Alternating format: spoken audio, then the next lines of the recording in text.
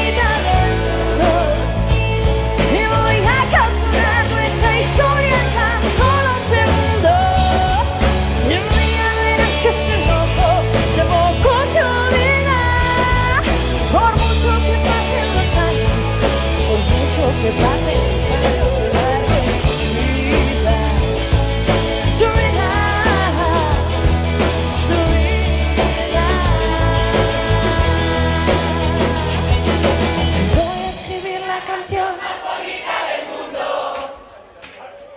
Y voy a capturar nuestra historia en tan solo un segundo. Mira, verás que este loco de poco se olvida.